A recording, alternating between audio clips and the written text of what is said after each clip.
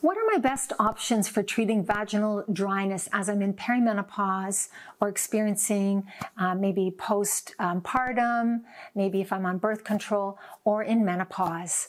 So 85% of women in menopause experience vaginal dryness. It's inevitable. There's no cure. It's a natural transition that every woman is going to go through in their life. So what can we do to help? The first thing I can recommend is estrogen therapy um, or a topical estrogen that you can, or a vaginal estrogen. Um, those are things you can consult with a menopause specialist.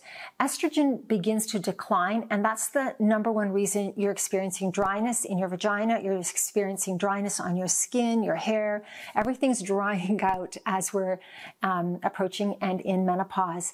Another way you can supplement these estrogens is with something called phytoestrogens, which are from uh, plants. And these phytoestrogens um, can come in supplements or you can find them in some of the foods you eat. So soy, for instance, would have soy isoflavones, which is um, a, a natural phytoestrogen and um, or you can pick up a supplement of, of that. And lastly, I would recommend Mae by Damiva to help with moisturizing and lubrication.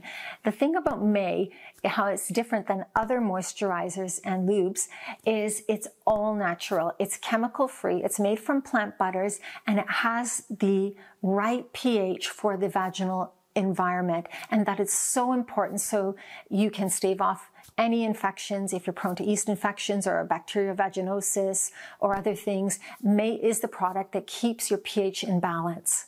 So if you find this uh, video interesting, um, please share it with your friends, please like, and please subscribe to our channel.